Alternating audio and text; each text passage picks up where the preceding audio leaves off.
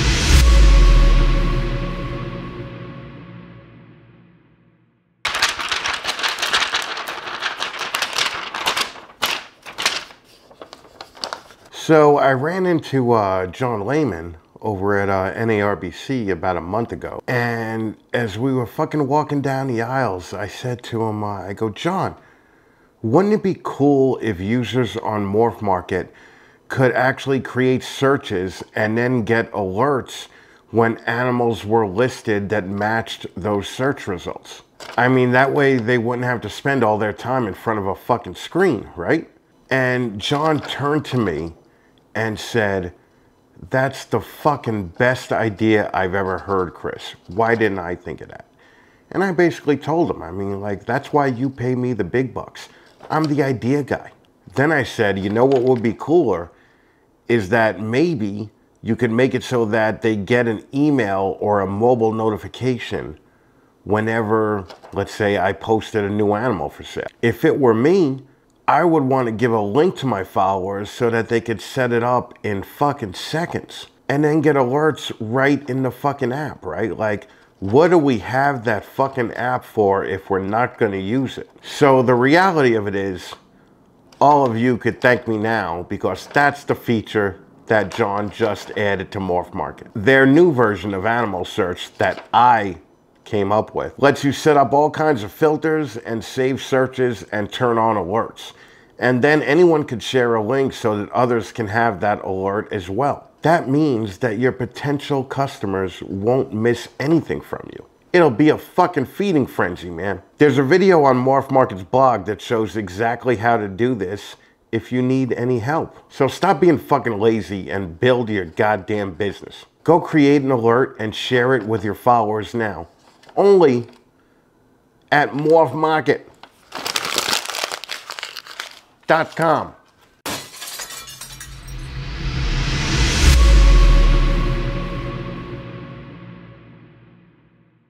All right, what do we got going on over at the old uh, Herp shows?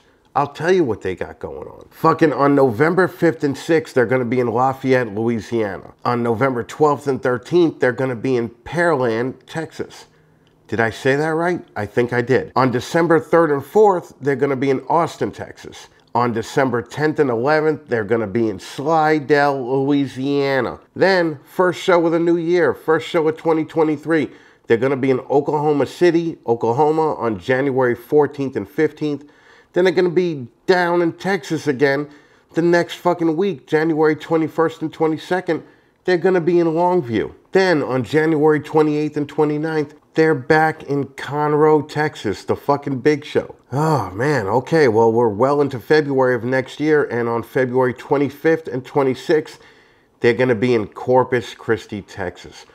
Herp shows are still fucking packing in the bodies, man, and fucking Sean and Laurie are fucking crushing it. Go check out herpshow.net for any of these fucking uh, dates again if you have to get reminded. And uh, why don't you uh, shoot an email over to uh, Sean and Laurie?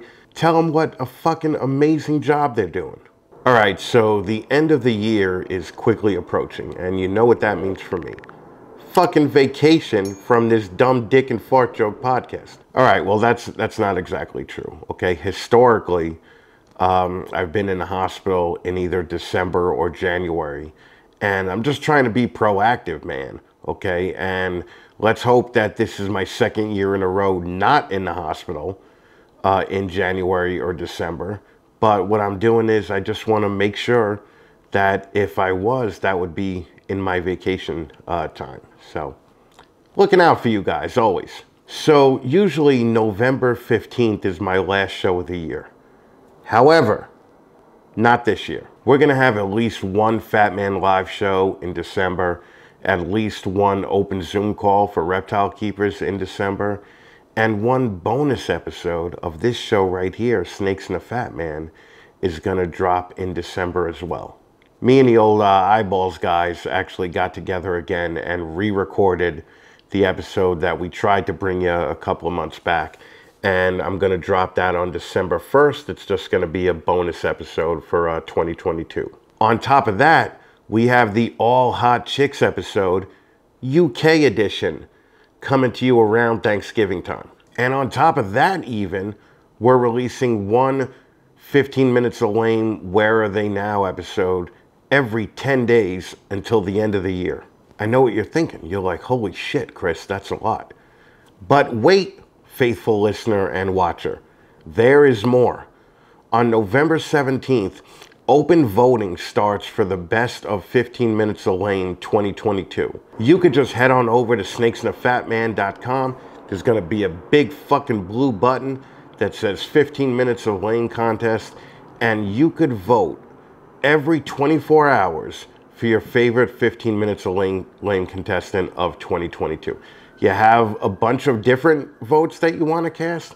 You could cast one a day for however many uh, potential winners that you want there to be. Great thing about this whole thing is voting doesn't close until midnight on December 24th. So you could vote once, fucking seven times a week, or 30 times a month up until midnight, December 24th. And then the winner is going to be announced on the birthday of little baby Jesus on December 25th, fucking Christmas. The winner will get an interview on the main spot of the first Snakes and a Fat Man show of 2023 on January 1st. They also get to pick their own first 15 minutes of lame contestant for 2023. They get a bunch of snakes and a fat man swag, and best of all, they get to walk around fucking with the title of lamest of the lame for the entire calendar year of 2023. Right now, you're probably saying to yourself, holy shit, Chris, that's insane. We're getting so much fat man dick shoved into our faces until the end of the year. Well, you better leave room for the fucking balls because I got more.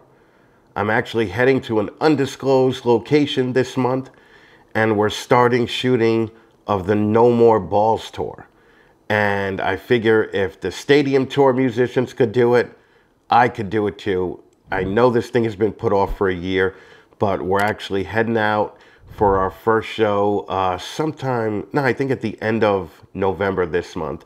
And I'm not even going to tell you where I'm going, but I promise you it's going to be cool as fuck. And that tour is going to start dropping on YouTube sometime in January of 2023.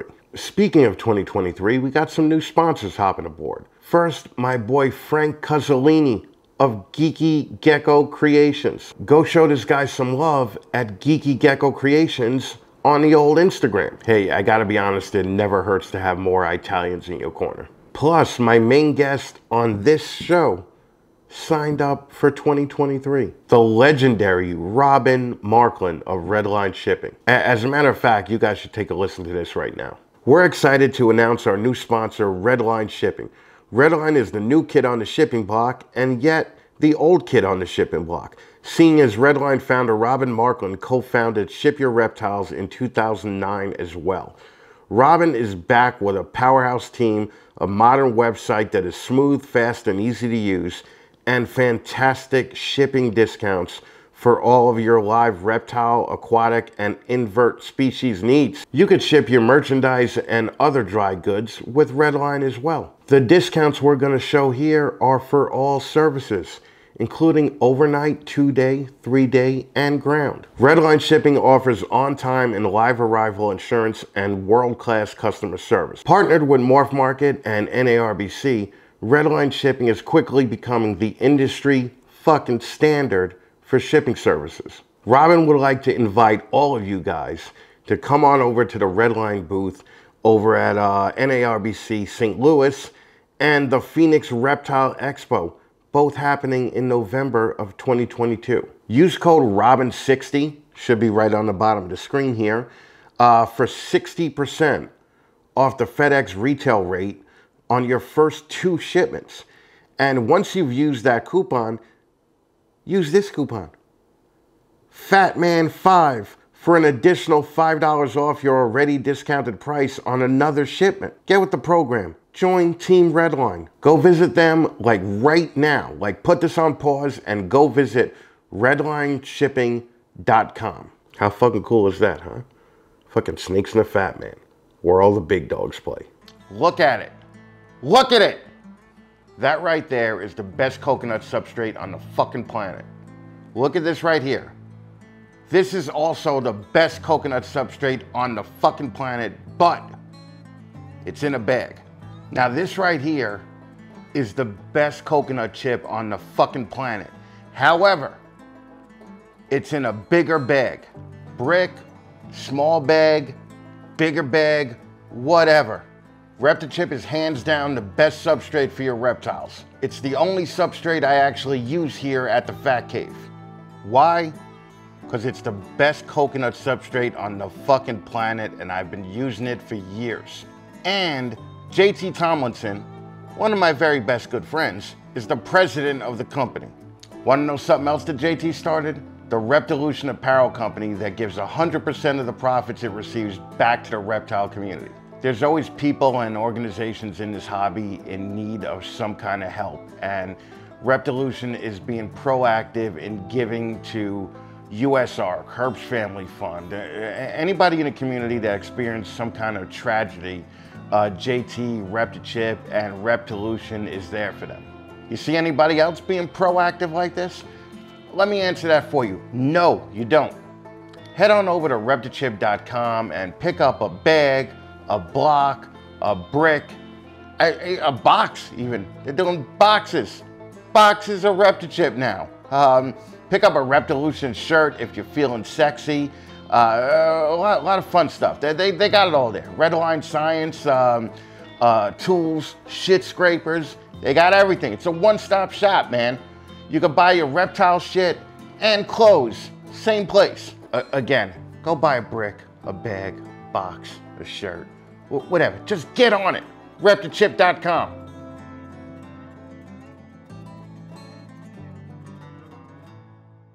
The ball python industry has never been more complex. Clutch makes managing your collection simple. This brand new cloud-based web platform created by Canova allows you to create, search, and filter your ball python inventory with ease, visualize your projects with innovative analytics and insights, keep track of past, present, and future clutches with a virtual incubator, and connect every customer with the perfect animal using a robust waitlist system. Ugh, I hate that word. We got to find another word for fucking robust. The biggest feature is that it's easy. It's super simple to accomplish anything in this program. Anything that comes out of the Canova headquarters just works. Beta launched October 24th, and it's not too late to sign up to test it out. To get on the waitlist for Clutch Beta, you could sign up at cltch.io. That's clutch.io once again, for all you morons out there, CLTCH.io. Know you. Fucking know you, baby. It's not about you. It's about me. Discover the power of your collection whenever inspiration strikes.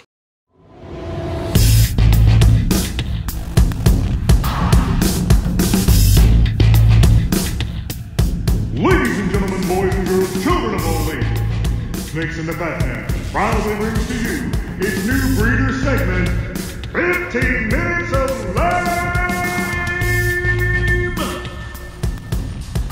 Hey guys, it's Justin at Canova. So in the past few years, Canova's become the top source for amazing ball pythons.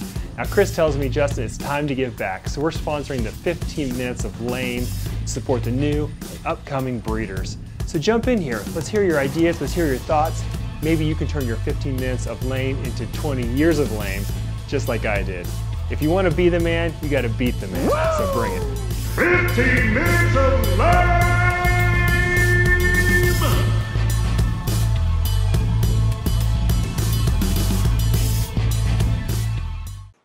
What's up, everybody? Look who I got here.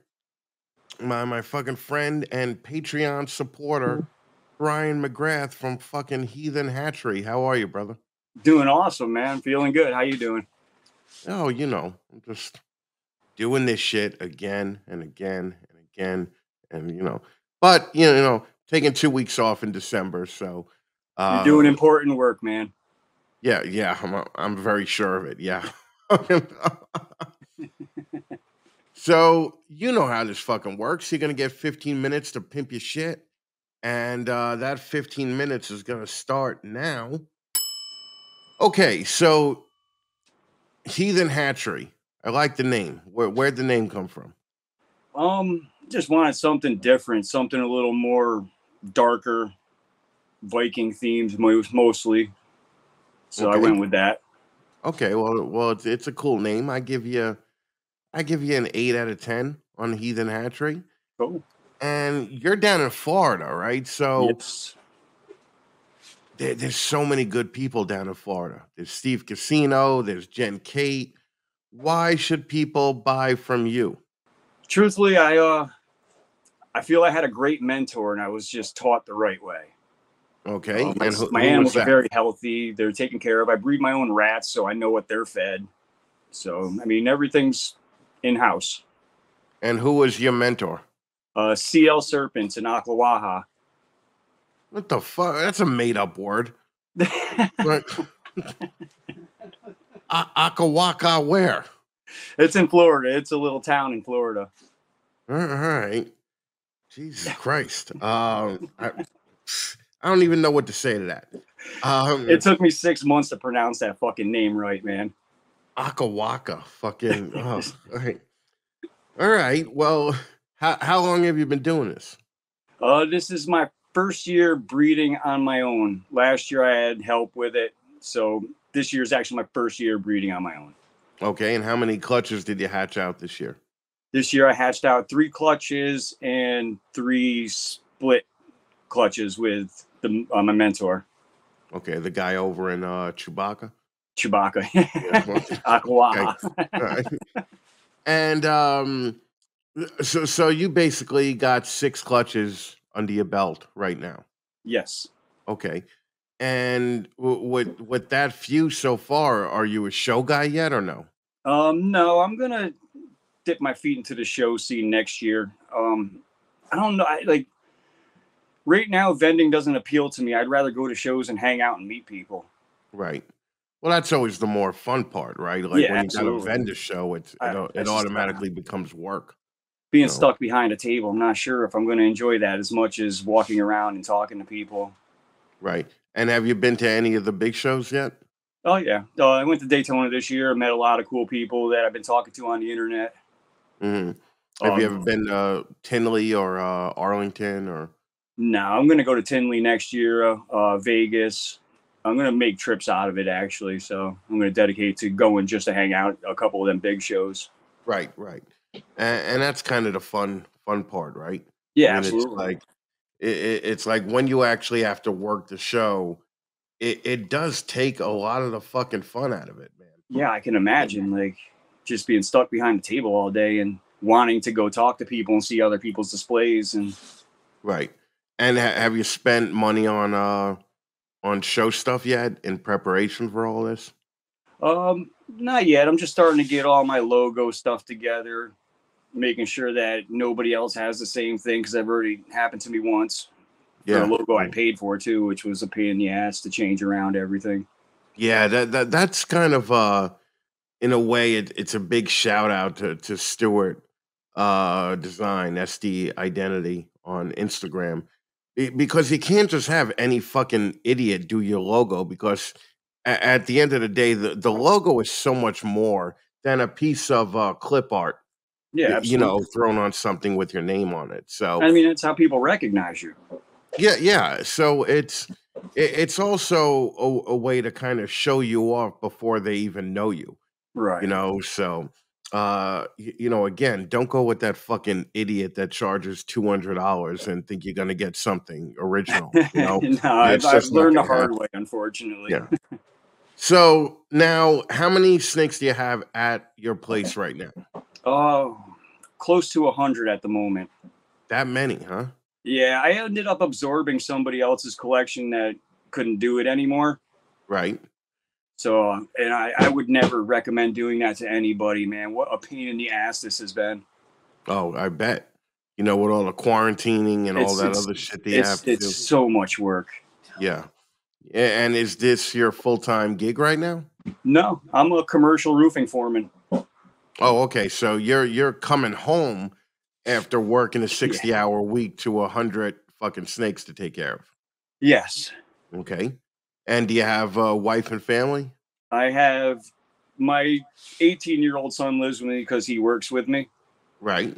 But no, there. I mean, I'm talking to somebody, but other than that, no. All right. Okay. Cool. So at least you have that. Yeah, So I, mean, I does got your all the eight, time in the world to do this right now. right? Does your 18 year old kid help you out? Hell no. I've even offered him percentages of sales, and he still won't get into it. It's like, way it God, goes, damn, man. man. They don't give a fuck. Nah, you know, at all. He just broke up with his girlfriend, so he's chasing girls all around now. Uh, that's what he should be doing right now. yeah, I ain't like, No. I'm proud of him. so, so that that's what it should be. Especially uh, now, wh- what part of Florida are you in? uh, North Central, so Okay. um, just uh, east of Ocala. Okay. All right. And you've only been there for a couple of years now, right? Yeah, about six years. Yeah. Okay. Yeah, Fucking hot down there, man. it's so fucking hot, swamp ass muggy. It. Yeah. It's really. Ugh. And I, and I and I roof doing this shit too. It's like, wow, what a dumb fucking decision this was. Yeah. Yeah. They say they say mothers have the hardest job in the world, but I would probably say roofing in July in Florida is probably one of the hardest jobs in the world, right? It tests your patience for sure, man. There's been Yeah. some arguments on the roof. Right. All right. Now, now let's just talk some sponsors here. Um, do you use Reptichip? I do. My breeder females are all on ReptiChip, and soon all of them will be also. That's fucking awesome. JT Tomlinson does not give Brian McGrath a fuck you. I looked for my rep, my uh, Reptilution shirt, but I couldn't find it. That's okay. What are you rocking a Canova shirt now? Yep. Yep. well, Trying to knock them of, down one by one, you know. speaking of Canova, uh, have you ever bought a snake from Justin? Uh, no, I haven't yet. Not Okay, yet. well- um, that's one of those guys where I think if you're gonna buy a snake from him, you need to come correct with a handful of money Yeah. Oh, y- y- yeah. You think? for sure. Uh, fucking. Well, Justin, until you do buy one, gives you a giant fuck you. Uh, have you ever been to a herp show? I haven't traveled that far yet. Oh, fucking Sean Gray gives you a giant fuck you. But your show has inspired me to do so next year. It, they're really fun shows, so so it's definitely worth the drive. I don't know if it's worth a 14 hour drive, which I think it is for you, but um, We'll it's it's a fun show. uh, let's see. Do you only do um, uh, ball pythons? Um, that's all I breed. I keep other stuff too, but unfortunately not boas. Ah, so you never even bought a snake from Boa Affliction. Kenny No. Sato gives you a giant fuck you. Uh, do you have a focus cubed habitat cage in the house? Again, nope, you're gonna kill me on this one too, but eventually I will because I'm gonna get them little stupid fucking milk frogs. Ugh. Well, Milk frogs are probably pretty cool, but Ashley and Steven give you a, a- a giant fuck you. Uh, I'm looking at your logo, and that was not a fucking Blake Stewart, fucking Stewart design logo. Not yet. Man, fucking Blake Stewart, probably one of the nicest, smartest guys in the hobby, just gives Brian McGrath a giant fuck you. I'm just I'm Ah. getting killed right now. Do you use Morph Market? Yes, I do. Do you have an account with Morph Market? I certainly do.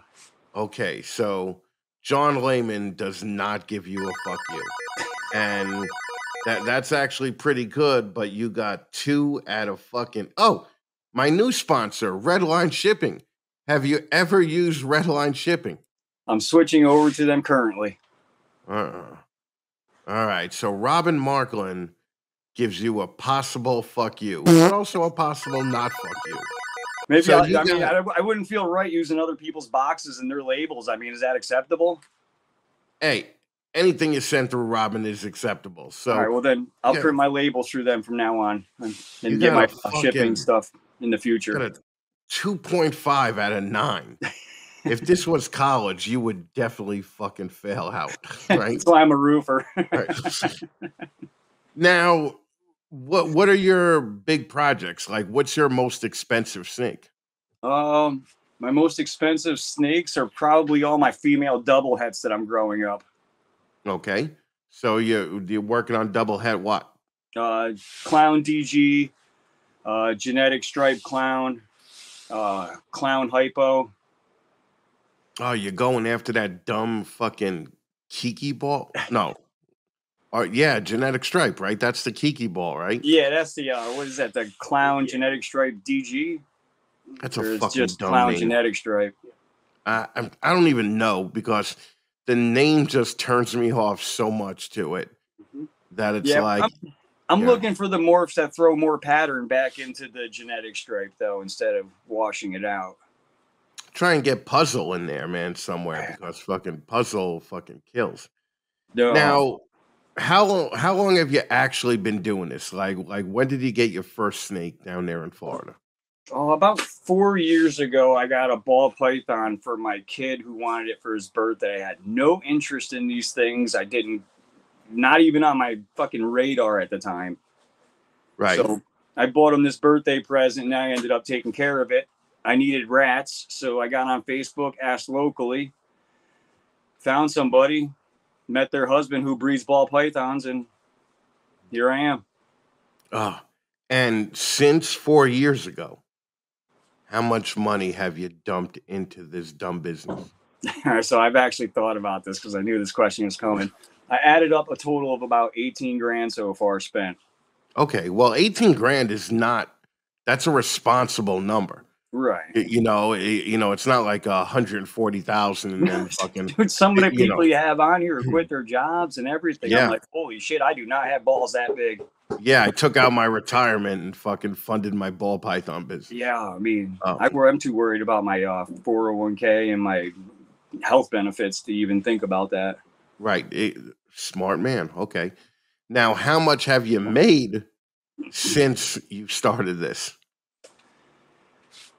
Uh, back in the pocket, nothing. About eight grand back into the business. Okay. So it's a growing, growing couple of years. Okay. Yes. Okay. I made a How lot of long- mistakes in the beginning, buying them on site and all that garbage. You know what I mean? Like bought a bunch of Right. mails and did everything, you know, the right way. Right. Right. Well, how long do you expect um, to be doing this before you're comfortable with the return? Um, a couple more years. I'm pretty optimistic. And and is there a uh, a dream big mentality to go big like Justin or uh, Mutation Creation, Billy up there in Canada, or is it to Absolutely keep not. it manageable? Absolutely not, man. That's that's what those guys are. You know what I mean? I'm not that. I'm I'm just a roofer, man, that's doing this as a hobby. Right. So you're keeping it as a hobby, you think? Yeah. One hundred Yeah, I mean, Like I'm too scared to take that jump. Yeah. Well, I, I mean, if, if you do things right, the hobby could could pay off. You, you know, you could get 60, 80 grand a year from this. You know, I have friends that basically just do it as a hobby I and always, that's about what they're making. I've always said if I can make about I don't know seventy five to eighty grand four years in a row, I'd consider it. Right, right. Yeah, yeah. Not just one good year and then fucking yeah, quit. it'd have to be continuously. you quit everything. Now, how could people get in touch with you if they had to get in touch with you? Um, easiest way is Instagram, Heathen Hatchery, um, Morph Market, Heathen Hatchery. My Brian McGrath Facebook, it, Heathen Hatchery, come up and fuck Facebook. Though I can't. I it's just done with that fucking platform. So you're more an Instagram guy. Yeah, one hundred percent, man. That way I don't have to read everybody's fucking sap stories, and I could just look at their pictures. Yeah, that's the way to do it, right? Just, Um, it's just awful. You don't have a YouTube or a TikTok, do you? Um, I do have a TikTok, but I can't remember the last time I've used it. Oh, fucking that's. I just don't. I don't know. I just kind of feel like I'm too old for fucking TikTok. Yeah, no, no, dude, I get it, man. I have two fucking videos up there. You, you Yeah, I know, mean, I and, and I've had it for 10 months, you know? Twerking and snakes. yeah yeah that, that's pretty much it but you, you know at the end of the day it puts you in front of some of the young people right Yeah. Yeah, for sure. I mean, that's and- the future, right? well yes and no you, you know we got to skip I- a generation, I think. yeah yeah that that actually you know is that interesting point like skipping a generation may be not a bad idea Might be what we need. I don't know. yeah i think so well and this is nice look at this boom your time is up but you, you, did it just on time man Excellent. fucking man. you, you really, you know, thank God you weren't a new breeder with fucking six clutches on your fucking uh, belt and just uh, wasting time with fucking talking about other shit, you know. So so nicely done, my friend. I appreciate it. I appreciate that, man. um, Thank you. I Well, was fully expecting to get torn apart. no, no, well, well, you had, you had a shitty score on the fucking sponsor thing. I mean, Yeah, we'll was work on really that. Horrible, but yeah, hopefully when you come back for the where are they now, uh, you, you'll hopefully have remedied all of those. we'll definitely So- remedy a lot of that for sure. I you plan know, on we'll growing. definitely So. see what happens. Um, brother, thank you again so much, man. I appreciate it. Everybody go follow Heathen Hatchery on fucking Instagram. Uh, not on YouTube, but Not on fucking YouTube. on TikTok too. If any of you fucking fags are doing TikTok, follow Heathen Hatchery on TikTok. Ryan, thank you so much, my friend. I appreciate it. Man, it's been a pleasure. Thank you for having me, man. Thank you, my friend. Bye bye. All right.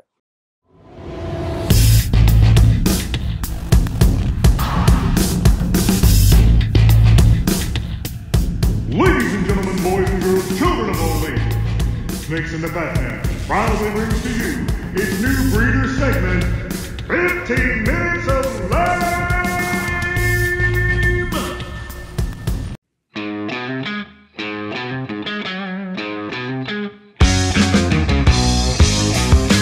Listen, guys, Stewart Design doesn't just create logos, they build brands.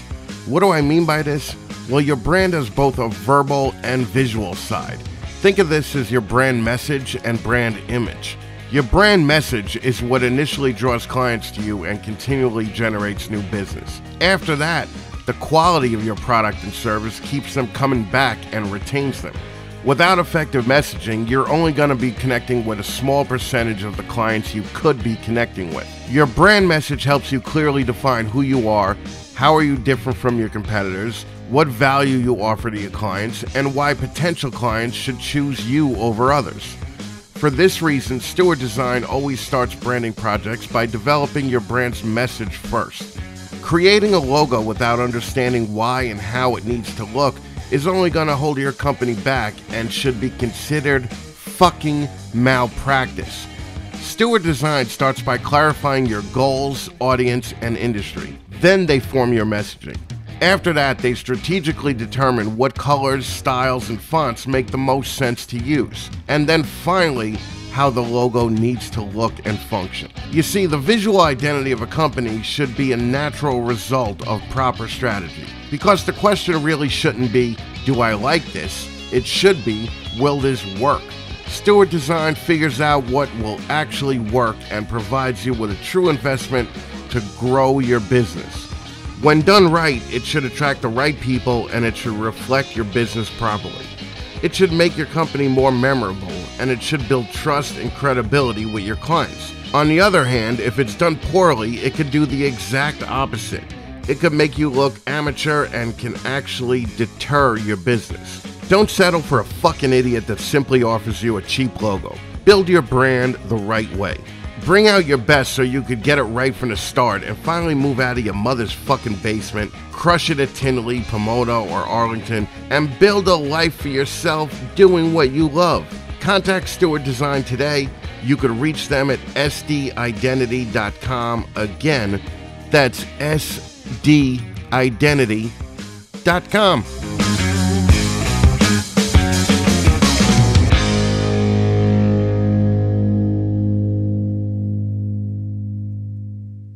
Man, I gotta tell you, I'm so happy to have this guy back on the show.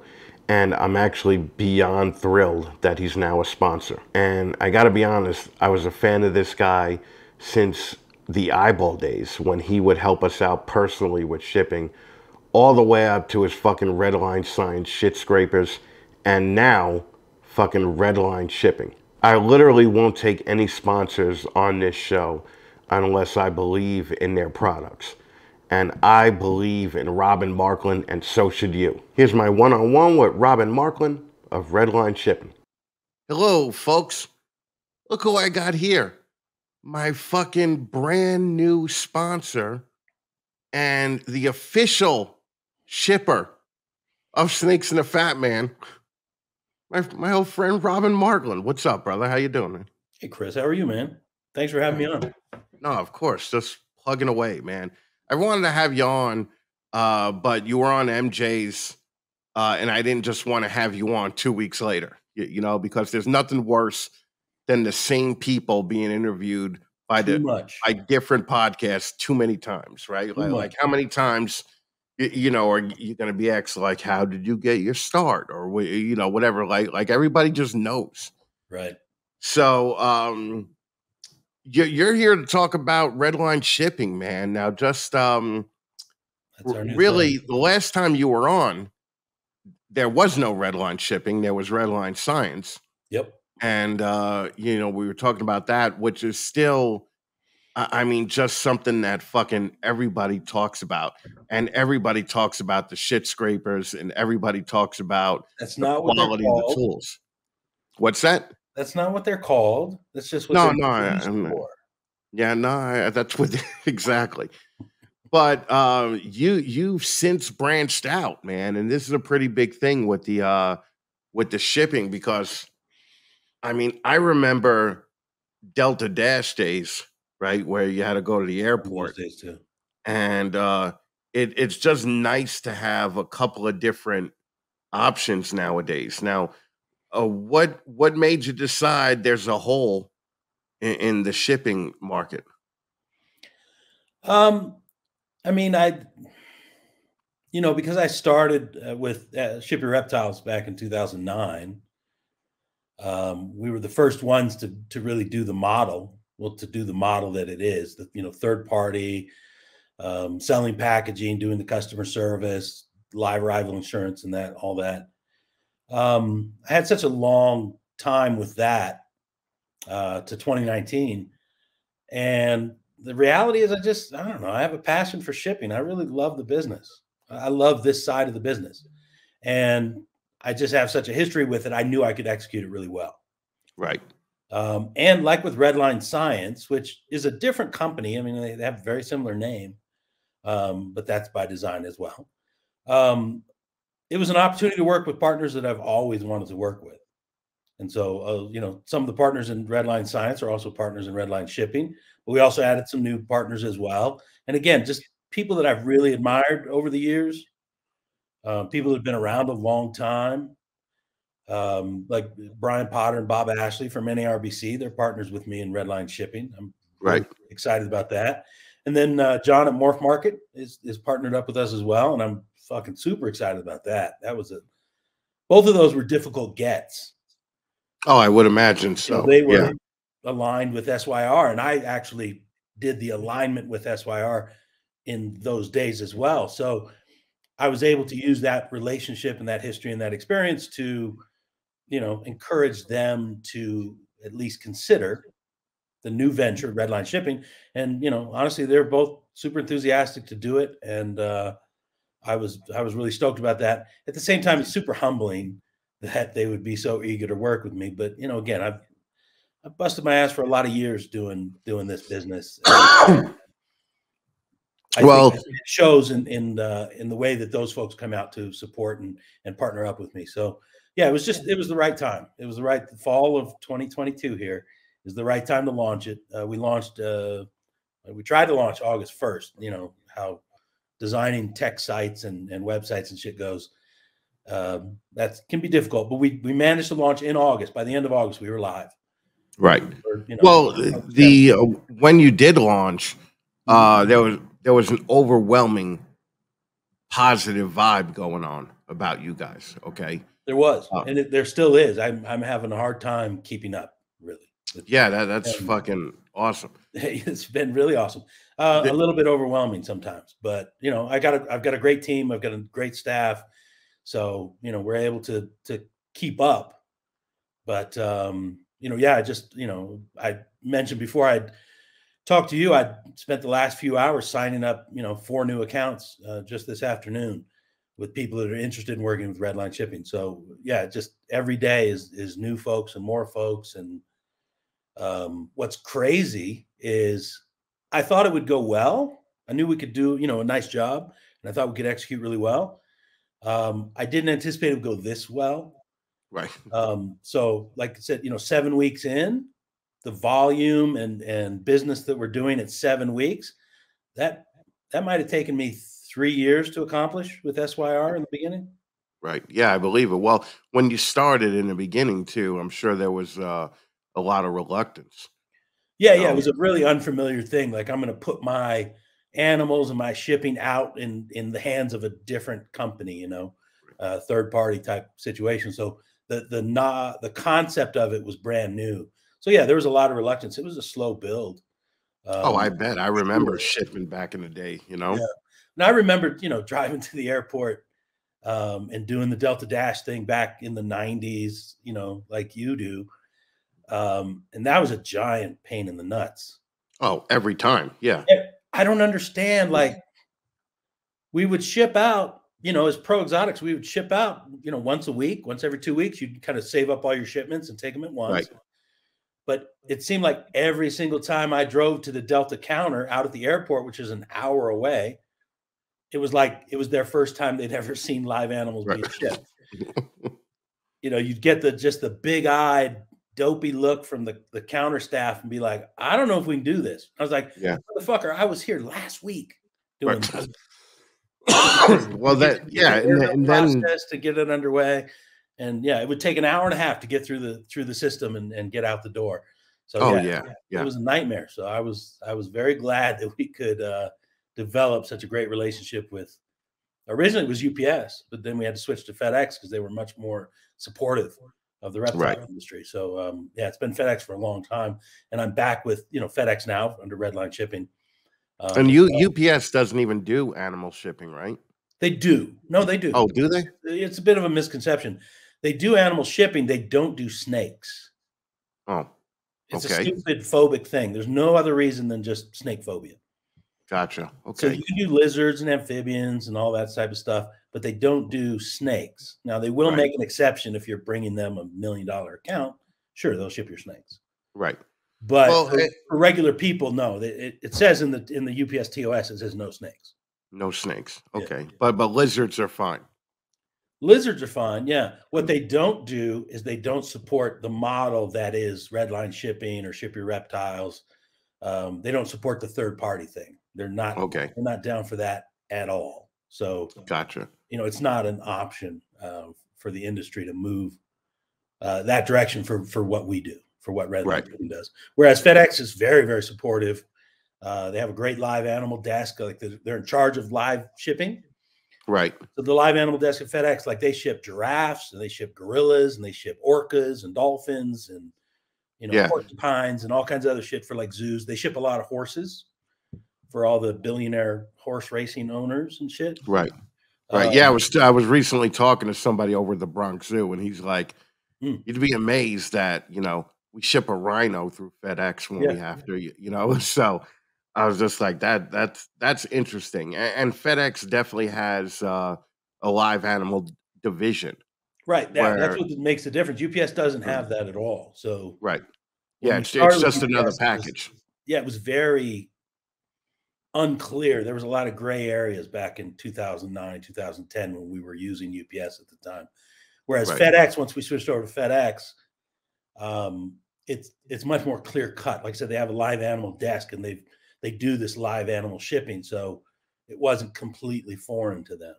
Right. Although they had no idea that I think the size of the reptile industry. That was Oh yeah, That yeah. probably most people outside of the industry have no idea of the size of the scope of Mhm. of the whole reptile industry. You know, yeah because the reptile industry, wh- what people tend to forget is it's not just ball pythons. You know, so uh, at at the end of the day, it's uh, it's monitors and supplies and cages and, and everything else. So. yeah, Um, foods and and all of the supporting products and merchandise that goes with it. Um, I mean, right now, I think that the hottest fucking thing in in our reptile world is actually on the invert side. right. Um, bugs and stuff are just bonkers right now. I mean, new companies popping up all the time, and the, like the isopods folks, right. there's folks making a ton of money selling isopods, and it's I think it's fantastic because it it just develops another segment of our industry. Right. Um, right. And we just had uh, you know the Tinley Park show uh, just happened, and we were out there because we are the official shipper of uh, NARBC. Um, but I was able to get my FedEx rep to come out to the show and visit. Oh, really? First time I've been able to get him to do it in ten years because he was my rep at SYR as well. So he he came over and he he's the rep for Redline Shipping now. Oh, really? I've been trying to get him there for forever because I want him to understand like what we do, who's involved, and frankly, I want you to respect the, the industry that we have. Right. You know, it's not, it's not, we're not in a fucking Quonset hut walking on dirt and straw and looking at some shit ass animals. The Right. Tinley Park show is a is a big industry show. It's a professional show. And so he came and I mean, he brought him and his wife. He brought his wife and they were blown away. I mean, even after all this time working with literally uh, a million packages at this point uh, through the you know through his account, um, they just had no idea how big it was, how impressive it was. I got to introduce them to a lot of the the players and the breeders. Uh, I introduced them to Vin Russo and showed him, you know, his world class boas. Uh, Right. Got to see, you know, some of your favorite ball pythons at uh, Pytopia. Um, went, you know, showed Pangea, showed Triple L, showed Josh's Frogs. We had a great conversation with Josh at Josh's Frogs, um, talking about how the industry has evolved and where it's going from here. Um, then we looked at, like I said, we looked at a bunch of the invert folks, all the different spider and uh, isopod sellers. And, you know, every time we turned around, it was like some other cool, crazy animal um, that just, they were just bugging out. It's just how diverse and huge. And then we couldn't even walk down the aisles half the time because it was so Right. crowded. That was fantastic. Yeah, Yeah. Tinley was packed. Yeah. Yeah, it was packed as always. Although I think Bob and Brian made the aisles uh, 10 inches narrower because it seemed tighter than ever. Well, Um, yeah, I saw some pictures where there were only five feet in between tables. It was, you it was know- pretty snug. It was Yeah. pretty, snug. I think we're at the capacity of that um, that building, that convention center. Right. So Yeah, because it opened up the whole thing this year, right? yeah, yeah. Yeah. Well, they, they still have to save a space for the auction, which is also standing room only. Right. but yeah, I mean, it's I think it's as big as it can be. Um, but I we got to pull out um, a giant uh, from uh, Mm. Steve Simelli, and uh, you know he's got some big adult leachies that are just impressive. They're impressive to me, and I've seen them a hundred fucking times, but they're super amazing and impressive for a member of the public, like my FedEx rep, to be Right. able to let him hold that and then have it walk up his arm. His wife is taking pictures, and you know, then they get to touch it. And I mean, they were just blown away. Just a really, really deep appreciation for what we do, and the th- then the money involved. You know, being able to show them a thirty thousand dollar uh, ball python or thirty thousand dollar crested gecko, which is friggin' nuts Yeah. um, you know, ran him by Canova, of course, and you know, introduced him to Justin and chatted him up for a second. And you know, I got to brag on him a little bit, like, you know, this guy is is king of the ball python world right now. Like this, he's a young, brilliant fucking entrepreneur, and he's built up this terrific little empire of his. Well, it's not really little anymore, but um yeah, I just I, I I take a lot of pride in the industry and the hobby and what we've done, you know, over decades. So it was it was a really cool experience to be able to show that off to Right. somebody that does have connections to us um, through FedEx, but just hasn't been able to see it before firsthand. It was it was neat to see, you know, to see that exposure for the first time. That was that was a great experience. Right. Well, well, you have, excuse me, you have a history uh, of, you know, over what twenty years in the business, right? So you I'm, I'm coming uh, up on thirty actually. coming up on thirty. Okay. Yeah, no So man. everybody knows you to be this fucking nice, like a like like, I haven't heard anybody say a bad thing about yes, Robyn. Markland. No, Yes. no, I actually haven't. I heard some complainers, No. and th- this is kind of going back to the the uh the positive support that you got. The the only negative complaints that I saw was why does Robyn get to skip the line and become the official morph market shipper? Yeah. Okay. Um, and you know, part of the reason, of course, is you, you know, John is a partner, right? Mhm. But what do you have to say to the people that are like, how come nobody else got a chance to be the official shipper of Morph Market? well, there was an official shipper, Ship Your Reptiles. Right. But, you know, I mean, anybody has a has a chance. You can go Yeah, talk to John and pitch your your idea, your product, your relationship. Um, you know, he recently partnered up with uh, RGI on the uh, genetics testing stuff. Right. So another new partnership for him. He's super super selective about it. right. Um, but yeah, I mean, I was just I, I have a history of doing this business, and I could show him uh, the team that we put together.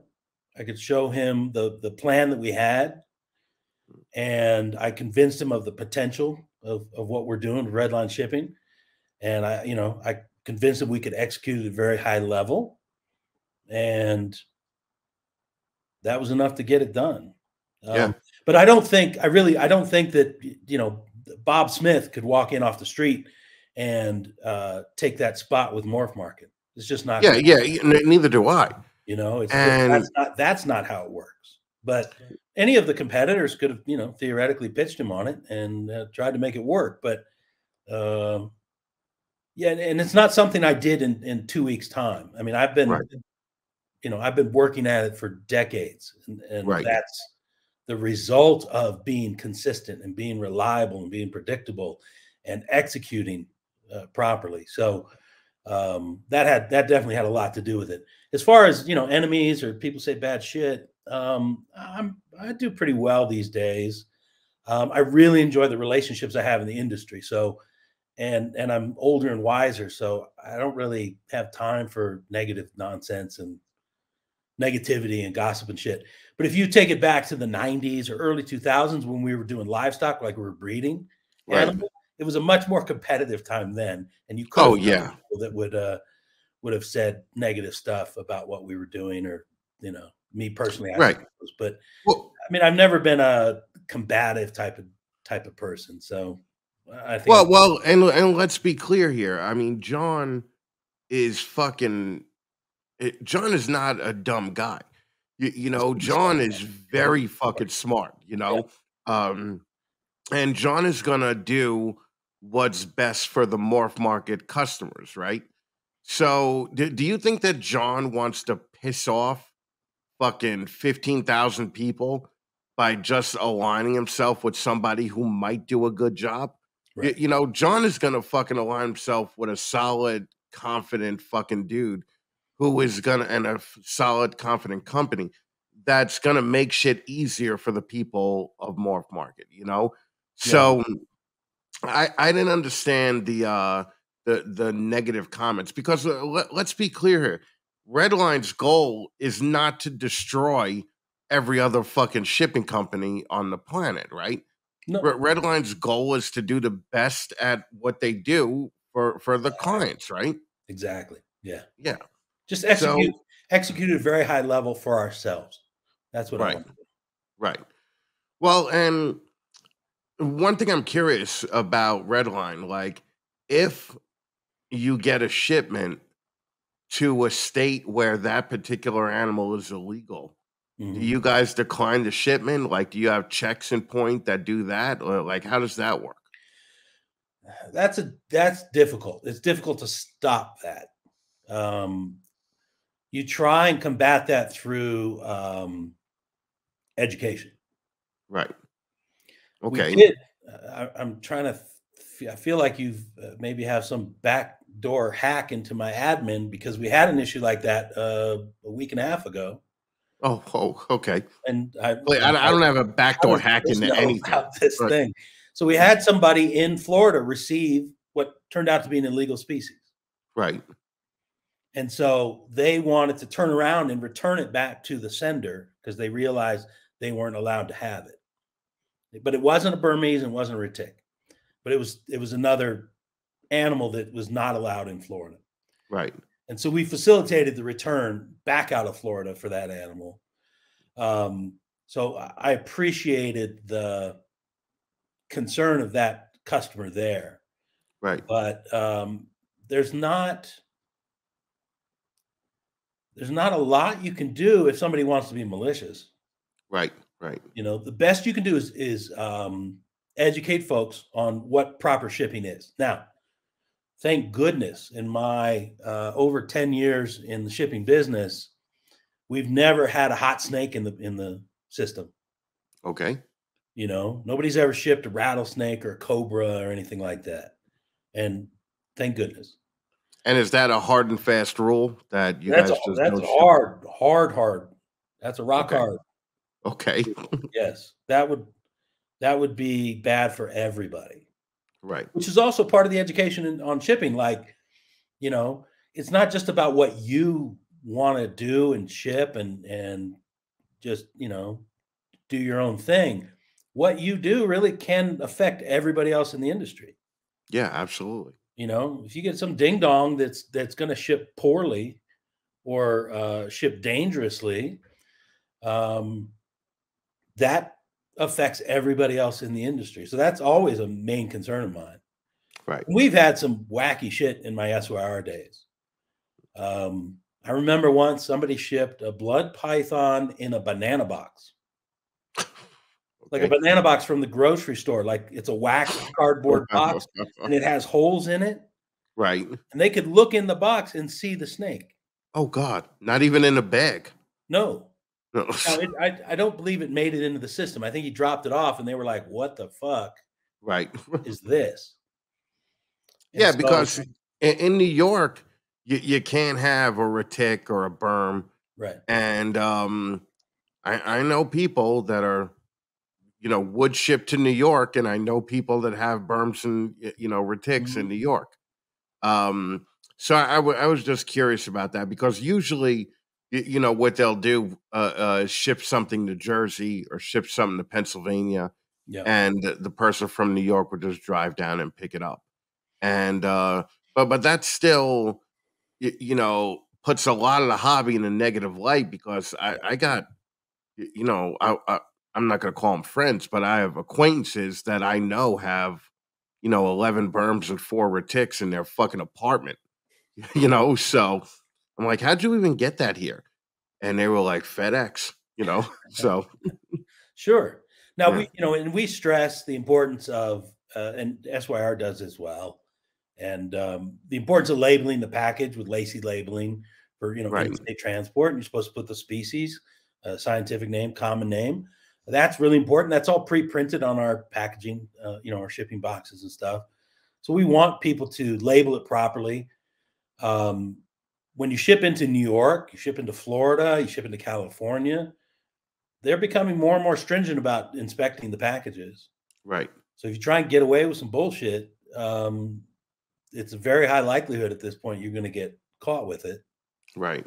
And they don't play around. You know, they threaten you with fucking ten thousand dollar fines and thirty thousand dollar fines, and and you know it gets pretty extreme. So, and I know I have, I do know there are some well-known folks in the industry who I'm definitely not going to name, but um, they're they're hung up right now um, on uh, illegal species transport, and you know are actually in jail and ta facing some serious uh, penalties and consequences. Yeah. Yeah. And course. so it's yeah, it's it's no bullshit. Now the, the question is the the popular question always is if you get that um, knucklehead that insists on shipping poorly, whether he's not going to use proper packaging or they're going to try and ship a Burm to Florida, which is the worst fucking idea because Florida's going to inspect every fucking package that comes in. Right. Right. But so the question is, do you ban ban him from the site? Like, do you ban him from using the service because he's reckless? Or do you just have a sit down and talk with him and say, look, you can't do it this way. I want to support your shipping, I want to support your business, but I need you to do it properly. I need you to use the right packaging. I need you to use the right labeling, and you can't ship Burms to Florida. God damn it. Right. Like I would rather they execute properly with my support and we get them on the right path Right. than to say, you know, piss off, I cancel your account, go ship however you want to ship, use another competitor and, you know, blow up their shit or just do it on your own crazy style. I don't want that because that's still going to negatively impact the industry. And I think that's Right. still bad for everybody. So in most cases, I mean, unless they're just a straight up fucking crook, which also exists in our industry, believe it or not. Quite a bit. Um, yeah. I'd rather try and educate them and get them to do it the right way because that's in everybody's best interest. I Right. mean, Phil at USARK, he's got enough bullshit on his plate. He shouldn't have to worry about reckless people just endangering our, our very industry just because they're fucking lazy. Right. Yeah. Creating more problems than they solve. You, you know, Yeah. like, Yeah, yeah. um, and, and that's the other thing. You guys are a big supporter of US USARK, right? Yep, absolutely. Yeah. And um, it, it's it, it's probably one of the the the more endearing ways to to other client, you know, to clients uh, by being such a big supporter. You know, I mean, you may have people that use you simply because of your vocal uh, in favor of USARK thing. You you know, not even knowing about the shipping end of it. Now, um, you guys do you, you guys provide all the you know the boxes and the packaging and all that also right Yeah, insulated boxes, bags, heat packs. right Uh, we have we have our own branded phase packs now um, for the folks that like to use phase packs, which I think are a, a really great tool. right Um, so we have we came out with that, but um, yeah, we have everything you, you need to to do it properly. okay so so it's like a uh they could buy all all the stuff they need on the redline shipping website Mhm. you know as opposed to uh, like who, who used to do a lot of the box like tsk and all that they used to do the boxes The TSK still Um, sells packaging and stuff. Yeah, yeah yeah no no i, I know they still do but I mean, of, of course, you know, I mean, the want probably is for them to buy everything from you from A to Z, you, you know, so that that would be the the want of any smart business guy. that would give me confidence that folks are executing properly. Yes. Right, right, right. exactly. Now, some people do their own packaging, which is fine as long as it meets the standard that's required. You know, three quarter Right. inch insulation and a certain strength and burst weight. And funny enough that you mentioned packaging, I saw a video earlier today, uh, Instagram maybe, but somebody had received um, a box from Reach Out Reptiles from Garrett, Mm, and he does his own packaging, right. and his box was fucking dope. It was so nice. Mm. I want to order something from him just so I can get his box. I mean, it was branded nice. It was a white box, but it was branded reach out on all sides. But it was, I think it's one of the, I don't know if he gets it from Uline, but Uline has a, has a series of boxes called the, um, I think they're called Indestructible. Right. And so his is the indestructible style. And I mean, it- the lady was opening it, the, the breeder that received the animal, she was opening it, and the box just, I mean, I don't know. Nobody's going to care about what a box looks like, I guess, except for box nerds like me. But the box looked fucking awesome. The branding looked awesome. The packaging on the interior, like the, the packing material and stuff, looked super pro. I mean, I just I love seeing that stuff because I love to see people be masters of what their craft is. right. Like, you know, whatever your job is, you should try and be a master of that job. And Garrett is selling animals to people and shipping them to people, and he he's he's got that shit mastered. It looked like a million fucking dollars. Right. Um, so you can use your own boxes, and some people do. You know, some people use shitty boxes for sure. Oh yeah. Yeah. but people like Garrett um, that are going to execute at that very high level. John Dagg at JD Constriction, you know, he uses a, a really nice box, but he uses branded tape for the Right. box says JD Constriction on it. Like, I mean, that makes sense to me. If you're going to sell a product to a customer and they're going to receive it, and they're they're already going to be stoked about receiving the, the animal. Um, like, why not make your pr- pr- presentation pro? Like, Oh right. Exactly. million bucks. That's Well- part of the experience. I wish more people would understand that. Like that's part of the experience is is getting that type of a, a, a presentation and that type of uh, like materials inside the box, whether it's feeding cards, tracking cards, receipts, genetics papers, whatever it is, stickers and decals for your company. Um, when you buy packaging from Redline Shipping, whether it's case of boxes or heat packs or reptile bags, we include free product from Redline Science in the box. Oh okay. You get free swag, which is the actual product that costs money in stores. Right. We put that in the in the packaging when you when you get a packaging order from Redline because that's part of the that's part of that thing. I want people when they open up the packaging to be like, oh shit, Right. stuff Right. Right. Exactly. I can use. Well, So it, it's free- funny. Yeah, you get a free shit scraper, Chris. Right. That see. That's That's awesome. not what it's called. Uh, That's just what it does. All right. Tell everybody what it's called. Well, it's called blade scraper. Right. okay. yeah. So you you, know can see crazy? you can see how off I was with that. Then. Yeah. super far off. Um, what just makes it sound so crude. I use I use the blade scrapers in my kitchen and on the oven, and I keep them in my toolbox. I use them in the RV. Um, not the ones that I you know would scrape shit with, but their own separate ones. But um, this cool trend that I'm seeing now uh, is on Instagram. People are tagging us when they get their packaging supplies like they open the box and there's free product in there and they're taking pictures and putting it on Instagram and tagging us. And I've never had that experience before. Right. Nobody's ever been excited to get a, a case of 776 boxes. Right. Right. Yeah, but now they are. And so I'm like, oh, that's awesome. I, I just thought it was a cool effect to be able to, to throw free product in there that people could get, whether it's hemostats or, you know, tweezers or, or the blade scraper. Um, so yeah, just to be able to see like people are actually interested enough to post it on Instagram, that's cool. And Garrett, he got that post on Instagram because of that presentation. Right. His Right. so fucking good. The recipient was like, "I'm going to do a video of this." So, Oh yeah. Yeah. super smart It- marketing, super smart. it's so Brand, super funny smart.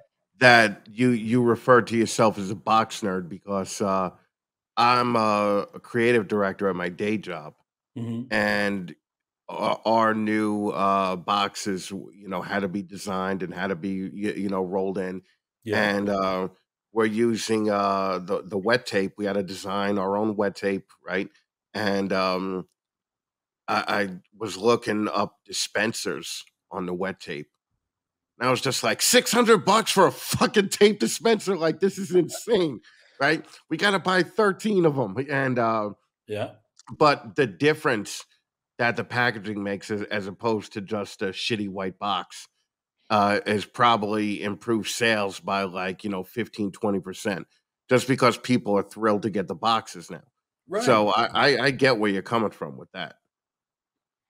I think it's So- important. I think I think your presentation is important, whether it's you shipping the animals or whether it's you at a trade show, whether it's a Right. small local show, whether it's Tinley Park or Arlington or Pomona Super Show. Like the way you present yourself to your customers, it speaks volumes. Yeah. tha- that- Why wouldn't you want to be as pro as you can be? As uh, Right. present the best possible version of yourself, your product, your merchandise, your animals, whatever it is. Like invest time and energy into presentation to say this is why it's worthwhile to buy from me or to do business with me. Right. I think Because people pay attention to the little things. Yeah, y- yeah. You know, that's just so important. That makes a difference. yeah, fake it till you make it, right? Like just fucking do everything you have to do to make you look like a million dollar company, even if you're not, right? So Yeah. Please excuse this brief interruption for a word from one of our sponsors.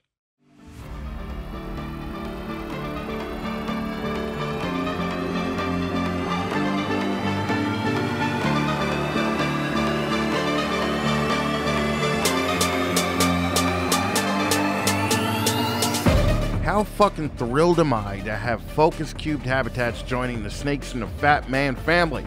They are literally the best display cages that I've ever owned. I, I, I was a fan of this husband and wife team of builders from when they were putting out these amazing pieces of fucking art from their garage. Stephen and Ashley have been keeping reptiles for years, and as experienced keepers, they understand how important your animals are in your life. Focus Cubed Habitats provide security and comfort for your animals while maintaining these insane, badass designs that everyone can appreciate. They give you the opportunity to make their home part of your home. You want options? They've got options. Every Focus Cubed habitat is custom made to your specs, and you could choose from hundreds of options on their website. Too many options? Ashley and Steven have a huge selection of blog style articles and complete accessory fact pages on their website to help educate consumers about add ons that will best fit their individual needs. Listen, at the end of the day, these fucking cages are showpieces. Every cage that Focus builds will be the centerpiece of your reptile room. Hell, they could be the centerpiece of your fucking living room. If you have reptiles that you want to display, look no further than Focus Cubed Habitats.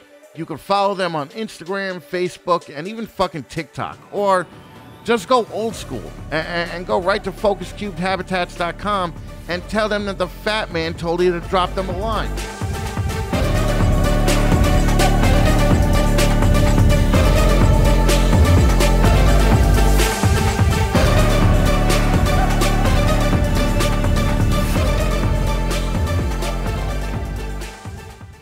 Now you guys also ship you like I'll be honest, you're the official shipper here, but it probably doesn't mean all that much because I don't ship many animals out. However, I do ship out shit every day, non-animal wise. Yeah. And you guys basically do that too, right? Like if I wanted to ship, you know, 20 of, uh, let's say if I wanted to ship, you know, 10 of those tape dispensers down to Virginia, you guys could do that for me, right? You're trying to get me in trouble now, Chris. No, what, why? Why you're not allowed to do that? Can you do that? Yeah, yeah, you could do that once. Okay. But officially, no, I don't solicit that kind of business. Yes, you can ship merchandise and dry goods and and your personal stuff with Redline shipping. Yes, Okay. but I don't go after the tape dispenser business, No, no, no. I, I don't didn't. I didn't mean that. I, I meant if I just had things that I had Yeah. to ship. Right. You, yeah. know, you, you guys obviously do all that too. But like I, you know what I'm saying? Like I don't chase uh business or accounts for people that manufacture picture frames Right. or right. shoes. Right. Um, because our focus with FedEx is required. Our focus is reptiles, aquatics, and inverts, and then Okay. all of the merchandise and dry goods that, that supports that. I, I was gonna say, wouldn't that include everything else? Yeah. Y- You know, so if I had to ship out 35 snakes and a fat man shirts, That I could use y- you know Redline. Yeah, so um all right, now how do um uh, how do, I mean everybody knows right now. I mean, I I, I saw fucking an army of fucking red shirts at Arlington That was crazy, wasn't that it? everybody Loved like it. it was it was insane, man. Loved it. Yeah, fucking um what what are things right now that you hope to do in a year that you aren't doing right now? What's the ambition a year from now? Um, what can I share? Really, some is top secret. Got stuff behind the scenes going on, huh? Yeah, yeah. I'll have to talk to you about that after. But um, you know, we want to get deeper penetration in the aquatics market. Mhm. You know, we we did SYR does pretty well in the aquatics world for coral and and fish uh, shippers, and so I want to get deeper penetration there. I've got a lot of great relationships in that world, but frankly, it's been so friggin' busy in the reptile side that uh, I just haven't had a chance to really uh, focus. So I want to want to be able to pivot to that Mhm. and uh, you know include those folks in this adventure as well. Um, I think that the invert side of the business is going to keep exploding. Uh, you know the the isopod folks, uh, the bioactive bug side of the Right. world, um, and all you know all the, the the tarantula and spider and scorpion type folks. Um, that is is probably the hottest po- part of the market right now, and so I want to keep um, servicing those folks and and reach out to them and start making relationships deeper in that community as well. Right. And I've already started that, and and uh, that's super interesting. I find those animals super fascinating, but just the idea that, like on the isopod thing, number one, it's ridiculous. It it really is. Over the last Still two bug. years, three years, yeah. Yeah, they're pill bugs that live in dirt. Right. and now it's it's a multi multi million dollar business. Like I would not have foreseen that five years ago. Right.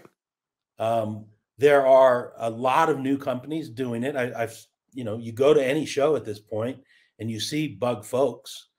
Um, gosh, I was at uh, a Colorado, a Denver show this past weekend, and was it Rubber Ducky Isopods? Had a big fucking end cap of isopods and substrates and foods and and kind of all the supporting product around that whole bioactive you know uh, terrarium substrate world and some great signage some great logos some great graphics and i chatted them up they you know it's a husband and wife team um, and they had pretty much started during covid and the shit just exploded and i was i'm so happy for them that's Right. fantastic um, uh, ben at uh, isopod.com is doing crazy business selling pill bugs pill bugs from Yeah. all over the world which i suppose it's kind of like ball python morphs like there's a million different things and i don't know any of them Yeah, roly polies, basically. right. Yeah yeah. Yeah. but they i mean there's there's you know uh, uh, species from all different continents. There are us species. They come in different colors um, different sizes apparently. Um, but that whole movement is is really fascinating to me and i want to i want to better understand it and i, I want to service the shipping side of it as well. Um, and guys I, i've i've known uh, guys like josh at uh, biodude for a number of years since he first started. But guys like that that are kind of pioneering that whole segment of of the bioactive substrate and you know running with uh, live soils like living soils and leaf substrates and and the balances and bioshots that go into the substrates and and uh, all of the supporting product it, it just blows my mind what they're doing and what's great i think is it's moving towards what we used to call more a european style of keeping of the animals where it's more of a naturalistic setup you know right. like people are moving away from the newspaper tub setup or Right. the Santa chips tub setup, and they're moving into more naturalistic vivariums, uh, terrariums, paludariums. I believe is one of the words for the water type stuff. Right. And I think that's all super positive. Um, it's great for the animals. It's more enriching for the animals. Um, the, the the setups themselves are fascinating. A, a bio dude uh, who's uh, he's down in Houston uh, area. He had had when I went and visited him. God, uh, I think it was COVID times, two, two, three years ago. He had one setup that was like seven years old or something that he's never cleaned Right. Right. you know just a soil that was naturally living and existing and he had all the different bugs and and and inverts in there that would eat the fecal matter and the material and the decaying matter and it just kind of is its own little life cycle and i thought holy shit that's fucking really oh, fascinating Oh yeah, yeah. I, I had tried to set up a bioactive cage here, but my main, res, you know, reservation was uh, I I just didn't want to become one of the bug people, right? Like, like I didn't want to bring bugs into my house. I Uh-huh. certainly didn't want to pay twenty dollars a bug for a basic fucking bug that's going to eat shit because that's really at the end of the day they're all shit eaters, right? And um, shit eaters shit scrapers it's all shit related bud it's all shit related, right? I I I tried to set one up and uh, I I just couldn't do it. So fucking it it failed miserably. Uh, flies ended up going, you know, getting everywhere. I ended up just cleaning the cage out, and now I clean the cage every fucking week. yeah And I fucking hate it. I have one cage in my house to clean, and every time I clean it, I'm like, you know what? I really fuck these frogs. Maybe I should just flush them down the toilet. Like this is a lot of work, right?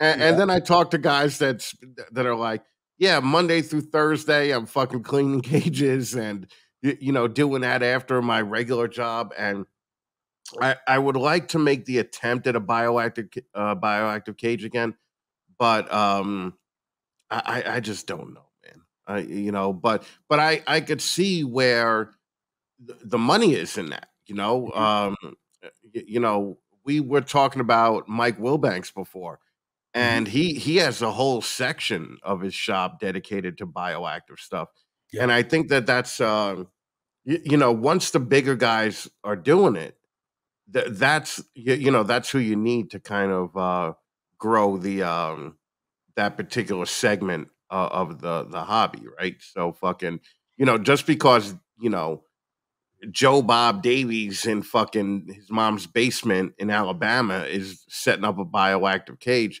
that that really doesn't encourage me to set up a bioactive cage.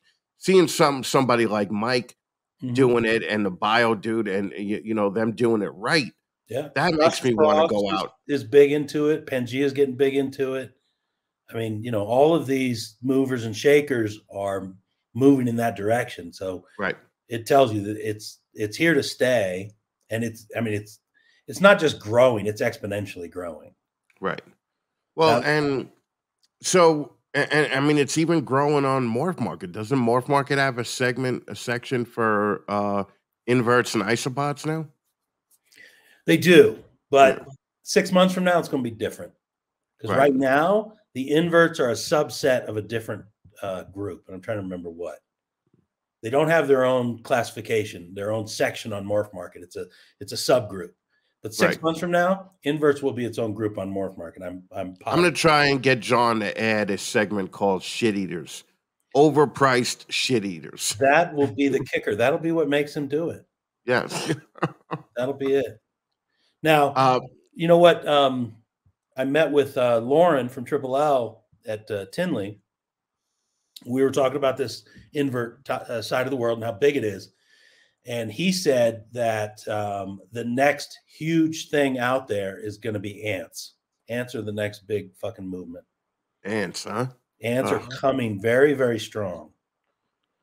And um, I just I went to the Animal Con event in uh, August, and uh, the guy from Ants Canada was there Right. and giving talks. And he has a gigantic YouTube channel all about ants, all different species, keeping them. And uh, his business, they sell ants and all the supporting, you know, uh, substrates and foods and set up merchandise for it. But uh, apparently, that is like the the cutting edge of of animal keeping. It's not, re- you know, it's not the reptile segment, but it's kind of in our world. You know how it's got Right, reptiles, right. amphibians, we've got snakes, we've got lizards, chameleons, geckos, um, cockroaches, and crickets, and um, isopods, and the rest of the inverts and ants are they're close enough. Right. Um, I'm not going to keep ants. I've, I've kept them in the past. They're interesting, but like I'm not trying to get into them, but I can recognize that it's coming and it's going to come Right. big. Yeah, I'm shocked at how big the bug section has become Hmm. in the last two or three years. You know, so Yeah. uh, but like almost to the point where uh, like I don't even believe it. I I, I kind of feel like somebody's behind it, right? Like it just seems like an evil plan to fucking insert shit eating bugs into everybody's house, you, you know, in the country because. I would say probably 70% of the ball python people that I know uh, also have bioactive setups in their house. So it, it it's caught on, man. I'm surprised at how big it's caught on. Would you would you shed a tear if if the invert industry displaced ball pythons? Would I shed a tear? I don't give a fuck. Right? Yeah. I know it's your favorite species. So yeah. No, no, it's really not. You know, like I don't have one ball python in my house anymore. I know. So I got two frogs and I'm getting a green tree and a euro and um you're a master. yeah, yeah. now you're talking. I'm just tired of keeping animals in a drawer, you know? Mhm. And th- th- that part is like that that doesn't even seem appealing to me anymore, you know? So what, what, are you just getting a single Uromastyx? I'm just focused. yeah, I'm just that. getting a single Uromastyx, a single skink, and a single green tree. I got two frogs here, Australian dumpy frogs. That uh, the only reason I have two is because, um, what's his name over at um, a tree frog collective just gave me a free one also. Spencer.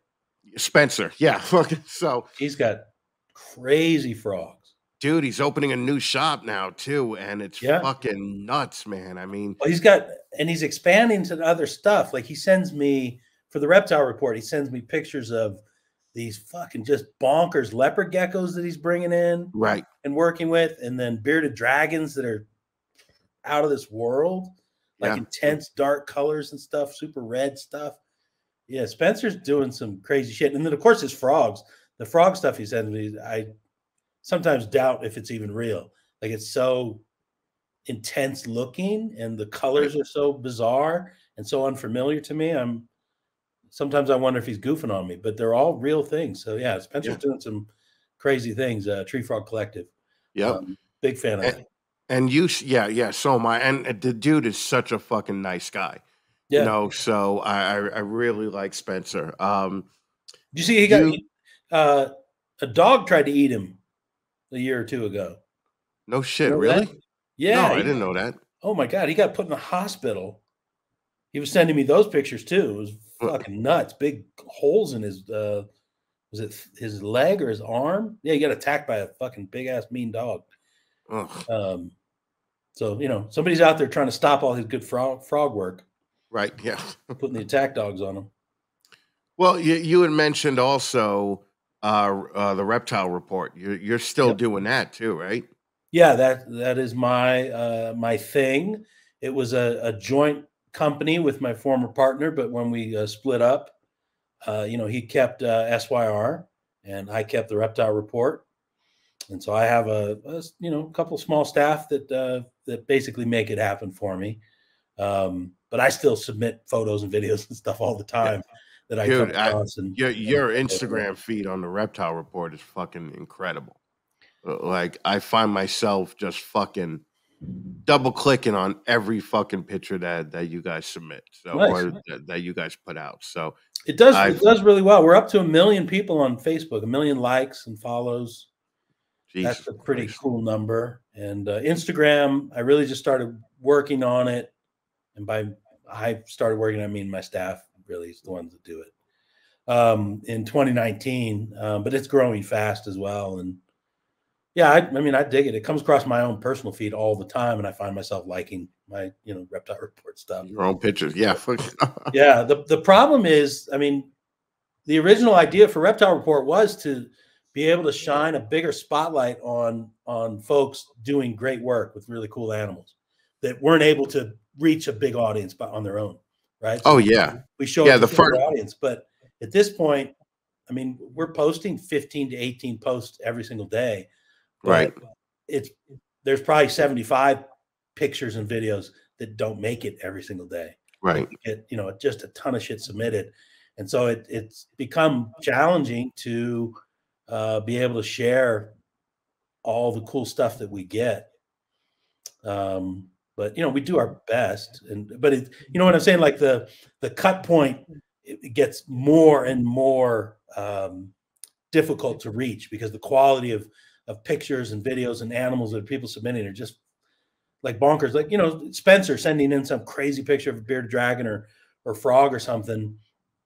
Most of the time, his stuff will make the cut, but sometimes even his stuff doesn't make it because there's Right. there's, there's just so I- many other great uh, animals to share. So um, I, I love the the idea of, of what the Reptile Report does, and um, it is uh, officially ten years old now. So yeah, time flies. Well, I remember the first time we made uh, a picture on the reptile report. I mean, Yeah. we thought we thought that we've arrived, you know, like fucking, you know, we got our picture on the reptile report, and um, it, you know, it was kind of like a uh, a milestone. It's like when you you know when a new breeder sells a snake to Justin, like like, when we do that, right. you, Sure. you know, it's it's it, you know, it's incredible.